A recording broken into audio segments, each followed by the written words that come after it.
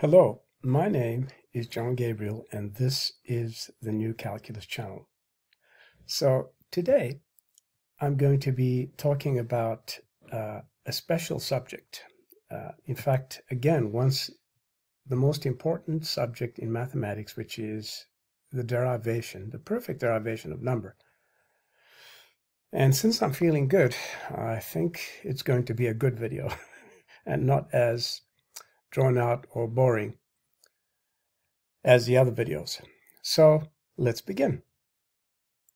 Now, uh, I had a question from one of my subscribers about one of the statements I made. So for example, I wrote down what you see here, this particular uh, diagram, and I said that represents a number because, or not a number, but uh, a ratio because this line segment length is being compared to this line segment length.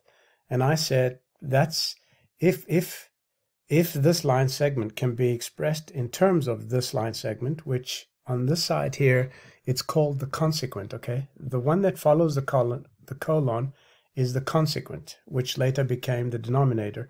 And the one which precedes it is called the antecedent. So if the antecedent can be, or the numerator, which became the numerator later on, uh, can be measured in terms of the consequent, then this does represent a number. So it's a very subtle distinction. In other words, what uh, uh, what I'm telling you is that this here is a number if and only if this measure, this length here, actually measures this line. Okay, so say for example, say for example, you had pi like that and the unit 1 and the unit 1. Well, does this ratio here, let's say that the unit 1 is this guy here, right? Let's say it's this guy here. Let's say it's this guy. So does, and this is approximately 3 times, oh well, whatever. Let's assume that this is approximately 3.4, what, 3.14 159, etc.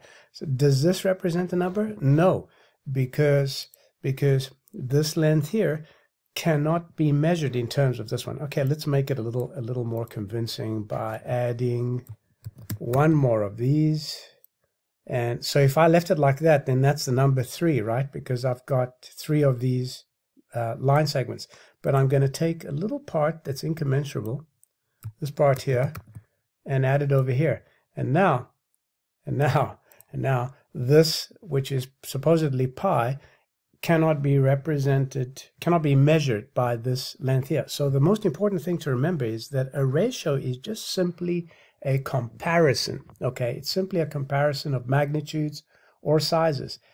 It doesn't have to be line segments. It can be weights or masses, okay? It can be volumes or areas. So, uh, so how did all this begin? Well, let's go back to the most brilliant people who ever existed. And again, you all know who they were. They were the ancient Greeks. Nobody ever matched their clarity of thought. Now, so their first definition here says, meros esti megethos, megethus, to elason to mizonas, to mizonas. I always get the pronunciation of this wrong. It's mizonas, otan katametri to mizon. And what it means is simply that a magnitude is just part of another magnitude, the lesser of the greater when it measures the greater. And what it's telling you is that we normally measure the the antecedent with the consequent. Okay, so this here is the magnitude that measures this magnitude here. But unless it measures it, this here cannot be said to be a number because we give these line segments names. Okay, we give them names. If we choose this to be the unit, then and we and we place two of them alongside, then that becomes two, right? And if we place three of them alongside, becomes three. And if we want to represent fractions, then we simply go the opposite way, right? So say, for example, we wanted a third, then what we would do is put one like that, and and then and then add another two, add another two of these. Oh, let me do this, like so.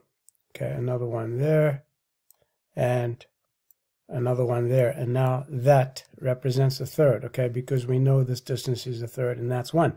So, so we start off, or the Greeks started off with magnitudes, okay? They were not numbers. There's nothing here about numbers, all right?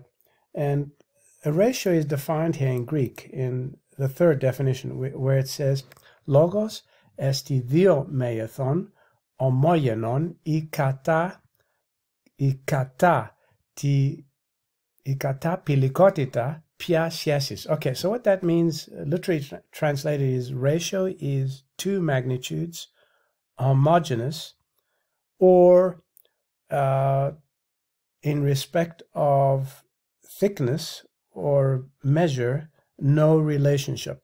Okay, so uh, that's all it is. So if they've got no no relationship, you know, I'm, I'm sorry, it means it has a relationship. Ikata pilikotita pia skiesis. I'm, I'm going ahead of myself. It has a relationship, and that's what that means. And so it says a ratio is a type of condition with respect to sizes of two magnitudes of the same kind. That's just very complicated, and it's nonsense. Let me define a ratio for you properly. A ratio is just a comparison. So in other words, it's just this colon between two magnitudes, and it doesn't matter what they are, either this one or this one is just a comparison. Both of these are ratios. And in this case here, this ratio is also a number because equal parts of the consequent, which are this here, can measure the antecedent. And similarly here, this part measures the antecedent. So as long as wholes of the antecedents, wholes, not as in wholes in a wall, but as complete a whole, as holes or parts of a whole or both can measure the antecedent, then this here becomes a number, right? Because we could define that, we could define the antecedent to be the unit and then uh, call everything else by the appropriate name, okay? Because then we can say, right, a unit is one of these and two units is two of these. And if, if this is the unit, then this here would be a third. And if we added another equal part like this over here, like this one, then it would be two thirds, right? Okay, do you understand that? Well, all this is dis discussed in my book on measures. Now, I want to give you some advice to those of you who are studying ancient Greek and Greek. Uh, if, for example, you try and look up the word pilikotita, you'll have to change the accents at the top. So this pilikotita here, this word here, pilikotita, has two accents on top here. And in modern Greek, it doesn't mean the same thing. So uh, in fact, the word uh, pilos in Greek means clay, and pilinos means of clay. So, you know, it's very difficult to understand exactly what the ancients were saying because some of the words are not quite the same. But we can determine, if we think clearly, the meaning from context. Okay? And I've done this. And I've done this all in my uh, free ebook, which you will find online. And I'll place a link to it in the details section. And then I've also been asked to speak a little bit more about myself. You know, this this the the concept of magnitude or size or quantity came long before number, and a ratio even came long before number. A ratio is not a number. So when you see this sort of thing here, um, it only becomes a number when you uh, write it differently. So, for example, you would write it with a vinculum like this, then take this part, put it on the top, and this part on the bottom, on the bottom, ah, doesn't matter, something like that. And then this here would be the number two. Do you understand what I'm saying? Okay, so maybe you should just slow down the video and read over these things and make sure you understand. So I'm going to close it out and just tell you that during my very early years, I desperately wanted to know what all these things mean. And I could never understand number until I began with the book of elements, which is part, book five, by the way. I'm looking at book five here. And then book seven defines numbers. Okay. So it's no coincidence that book five comes long before number, right? And ratios come long before the natural numbers. So you'll see most of the idiots in mainstream mathematics and in universities and school talk about beginning with the natural numbers. No, that's entirely wrong. You cannot begin with natural numbers because a lot of uh, machinery goes uh, into the process of defining a number. And you start off with a magnitude, then ratios of magnitudes, and you build up to the unit. And then from the unit, you eventually get to number. so all these things, all these things are essential to understanding the concept of number. And nothing you have in modern mathematics, such as set theory and Dedekind cuts and Cauchy sequences and all that nonsense, properly defines number. Okay. You cannot understand number until you understand Euclid's elements. And so number being the most important thing in mathematics is what you have to understand 100%. Okay, so, and then another thing is uh, my journey has been pretty difficult in life. Um, I once reached a point where I had sufficient funds that I didn't need to work, and then I gave away most of my wealth, intending to exit the planet. And obviously, I didn't, and that's why I'm still here, and you're watching this video. But, uh, you know, I, I reached a point where I decided that there is really no no valid reason for being alive but not to wax too philosophical, the reason I'm compiling these videos is to help the future youth. And there is so much more that I could say.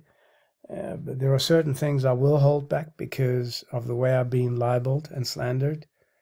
Uh, and I know that others in the future will look at this work and take it a lot further than I've taken, but it's going to take them a very long time because uh, my research spans at least 40 years.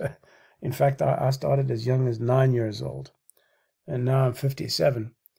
So uh, don't rule me out yet. And physically, even though I have thorns in the flesh, I'm not that bad. Uh, I mean, I, I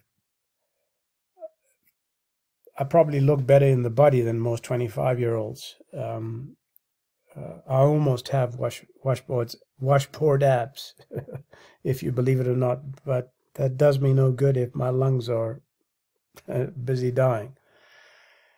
And so, speaking of lungs, I'm very out of breath right now. I'll try to uh, produce other videos when I'm feeling good, like I am today. and hopefully, uh, if you ask me questions, and I have the energy, I'll produce a video on the topic. So anyway, I think I've rambled on a bit. I hope you've enjoyed this little presentation and that you'll join me again soon, sometime in the near in the near future. My name is John Gabriel, and this is the New Calculus channel. Till next time, goodbye.